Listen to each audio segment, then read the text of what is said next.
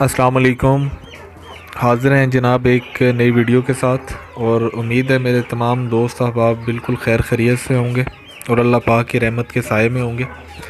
आज नया एक टॉपिक था जो मैंने अभी ऑब्ज़र्व किया अपने चूज़ों में एक इशू क्योंकि मुँह खोल के सांस ले रहे थे तो मैंने कहा इनकी जो मैं अभी मेडिकेशन करने लगा हूँ मैं आप लोगों के साथ भी शेयर करूँ। लेकिन उस तरफ़ जाने से पहले तमाम नए लोग जो भी मेरे चैनल पे आए हैं उनको मैं खुश आमदीद कहता हूँ और उनसे रिक्वेस्ट करता हूँ कि मेरे चैनल को अगर अभी तक सब्सक्राइब नहीं किया आपने तो मेरे चैनल को सब्सक्राइब करें। और इस चैनल पे मैं हर उस तरह की वीडियो जो एक आम नया फार्मर फेस करता है, उसका मैं हल जो है वो निकालता हूँ और वो मैं आप लोगों के साथ शेयर भी करता रहता हूँ। अच्छा अभी जाते हैं अपने टॉपिक की तरफ़। आप बीच में देख सकते होंगे, मेरे कुछ चूज़े जो हैं, वो मुँह खोल के सांस ले रहे हैं। ये तकरीबन तमाम फैंसी के चिक्स हैं। इसमें वाइट हैवी है गोल्डन हैवी है ब्लैक बैंटम्स हैं।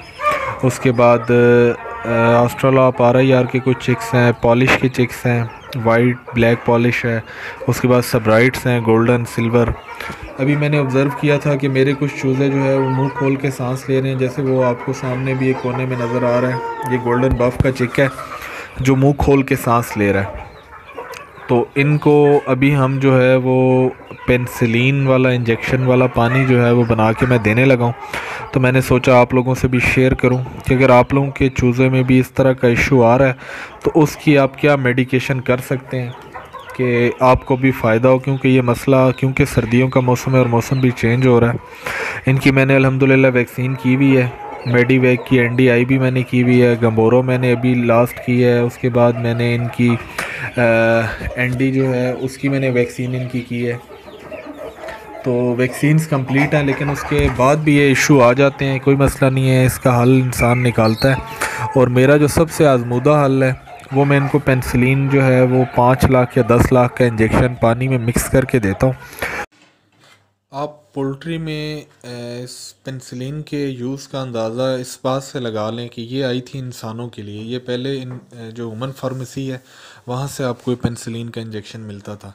लेकिन अब इसका इतना यूज़ है पोल्ट्री में कि अब ये आपको इंसानों की फार्मेसी से ये नहीं मिलेगा, अब आपको ये वेटनरी स्टोर से ही मिलेगा।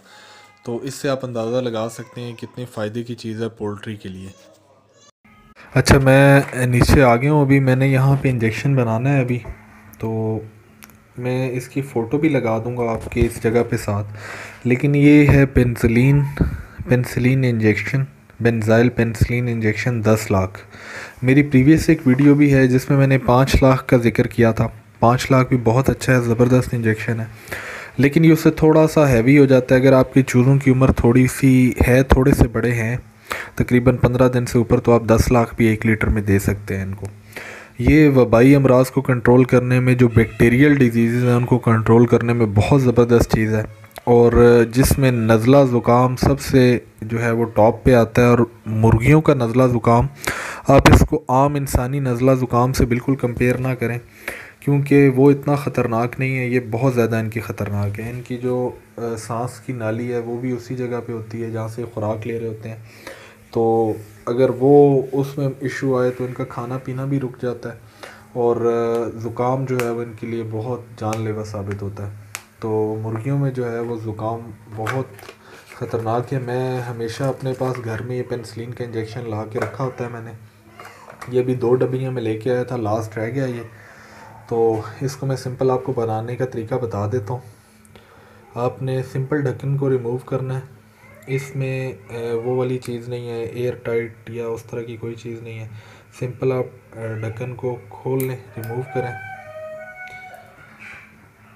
पानी मैं गर्म कर रहा हूँ, क्योंकि मौसम अभी जो है वो इतना खुला नहीं है, अभी भी सर्दी है स्टिल तो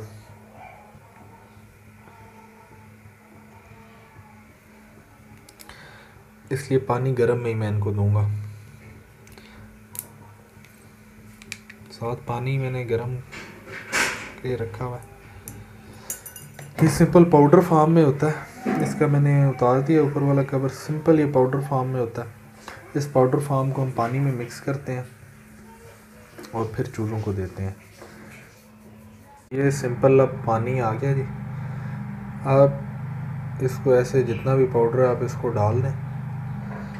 थोड़ा सा इसमें वापस लेते हैं पाउडर पानी। अच्छी तरह इसको शेक करें।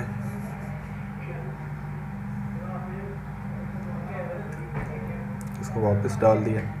ये तकरीबन एक लीटर का जो है वो होता है। मैं कोई एक और चीज़ लेता हूँ, इसको मिक्स करता हूँ साथ।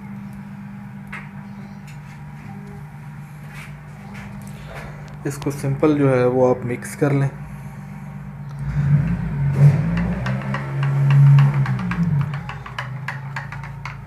ये इनका पेंसिलिन वाला पानी जो है वो तैयार हो गया। पानी कोशिश करें, नीम गर्म हो।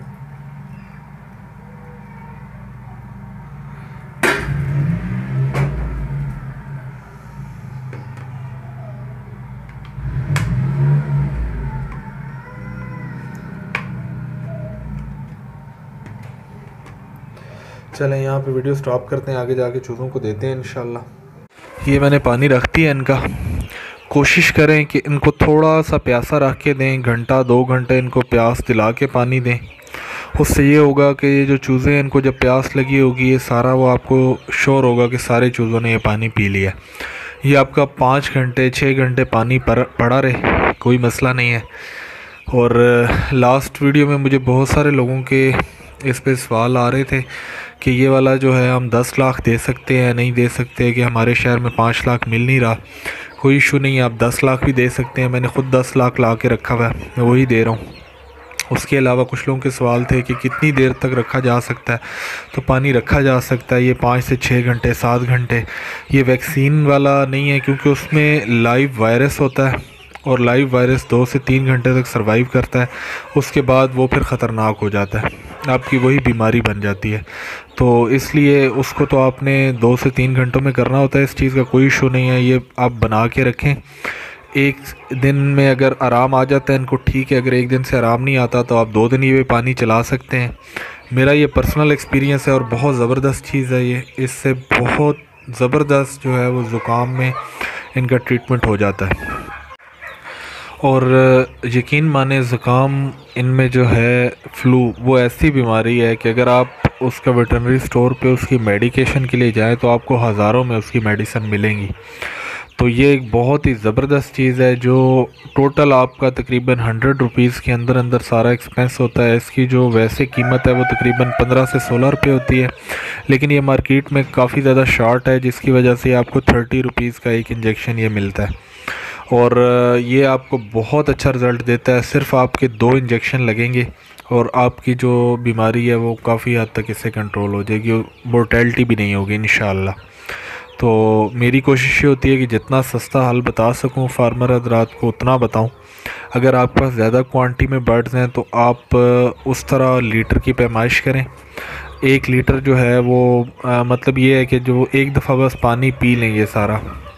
तो आप उस हिसाब से जितने लीटर पानी है, उतना पेंसिलीन का जो 10 लाख वाला इंजेक्शन है, वो आप डेढ़ लीटर पानी में भी एक इंजेक्शन के हिसाब से मिक्स कर सकते हैं। अगर आठ लीटर की बोतल है तो आप उसमें तकरीबन जो है, वो चार दस लाख वाले जो है, वो मिक्स कर लें तो सही है। वीडियो यहाँ पे स्टॉप करते हैं। इन किसी नए वीडियो के में, किसी नए टॉपिक के साथ आप लोगों के साथ हाजिर खिदमत होंगे इन जहाँ रहें, खुश रहें, मेरे लिए भी दुआ करें। अल्लाह पाक आपका हामी नासिर हो। जजाकल्ला खैरा।